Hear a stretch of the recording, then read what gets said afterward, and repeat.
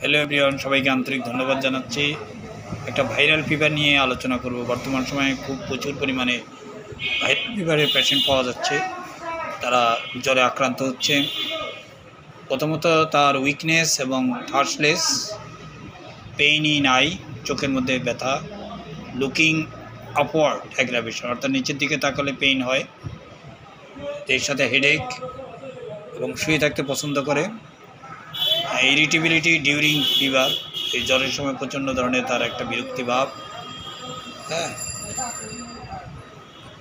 কিন্তু তার মধ্যে ঘাম perspiration after fever one top এবং জ্বরের পরে যেটা ঘাম দিয়ে জ্বর ছেড়ে দেয় এবং ক্ষুদা নাই এখানে আমরা যে রুব্রিকগুলো নিলাম mind irritability fever during eye pain looking upward aggravation অর্থাৎ নিচের দিকে তাকালেই চোখে ব্যথা করে। স্টোমাকের থেকে দেওয়া নেওয়া হলো rubric appetite want aggravation stomach thirstless fever during, perspiration, fever after এবং generally lie down, desire to. Generally lie down, desire to aggravation শুইলেও বা আপনার ইচ্ছা করে কিন্তু শুইলে তার ব্যথা বেদনা বেড়ে যায়।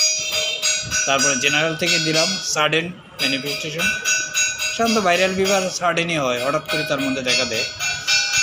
জেনারেল উইকনেস ফিভার ডিউরিং এই সব কিছু মিলেই রুবি মেডিসিন এসেছে আর্সেনিক আর্সেনিক জিরো ওয়ান করা হয়।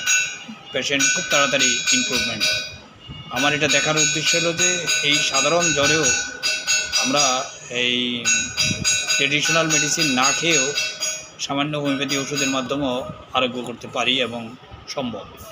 তাই এই ধরনের জ্বরে আমরা আসলে হোমিওপ্যাথি চিকিৎসা নেব।